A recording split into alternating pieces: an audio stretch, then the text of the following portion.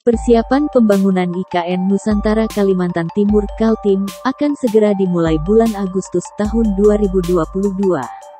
Untuk pembangunan IKN Nusantara di Kaltim, Kementerian Pekerjaan Umum dan Perumahan Rakyat PUPR telah meminta anggaran tambahan 6 triliun rupiah tahun depan. Kementerian Keuangan Kemenkeu saat ini masih memproses pencairan anggaran untuk pembangunan IKN Nusantara di Kaltim yang akan dilakukan oleh Kementerian PUPR. Pernyataan ini disampaikan Direktur Jenderal Anggaran Kemenkeu Isa Rahmatawarta dalam media briefing, Kamis, tanggal 4 Agustus tahun 2022. Diketahui, pemerintah telah menetapkan pemindahan ibu kota negara IKN dari Jakarta ke Kaltim. Untuk kawasan IKN di Kaltim diberi nama IKN Nusantara. Kawasan IKN Nusantara di Kaltim ini akan meliputi sejumlah desa dan kelurahan yang berada di Kabupaten Penajam Pasir Utara PPU, dan Kutai Kartanegara Kukar.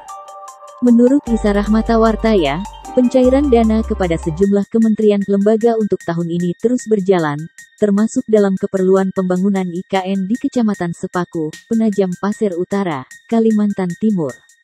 Lebih lanjut, Isa mengungkapkan, Kementerian PUPR telah mendapatkan alokasi anggaran untuk membangun IKN sebesar 1 triliun rupiah pada 2023. Namun dana tersebut dinilai kurang, sehingga Kementerian PUPR meminta tambahan anggaran sebesar 5 triliun rupiah sampai 6 triliun rupiah pada tahun depan untuk pembangunan IKN. Adapun saat ini pengajuan tersebut sedang dikaji dan diproses oleh Kemenkeu. Mengutip dari berita kontan sebelumnya, Menteri Keuangan Sri Mulyani Indrawati mengatakan, alokasi anggaran yang akan dikeluarkan tahun depan sebesar 27 triliun rupiah sampai 30 triliun rupiah untuk membangun IKN. Sudah nonton? Jangan lupa like, subscribe, dan share ya!